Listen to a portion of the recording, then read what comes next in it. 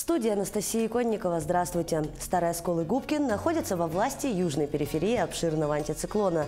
По данным гидромедцентра, в четверг 6 апреля пасмурно. Малоподвижный атмосферный фронт может стать причиной небольших осадков, но погода остается теплой. Утром плюс 10, в обед и вечером в районе 15 градусов, ночью 9. Ветер восточный с порывами до 5 метров в секунду. Полнолуние, магнитное поле спокойное. Атмосферное давление в норме 745-747 миллиметров ртутного столба. Alban.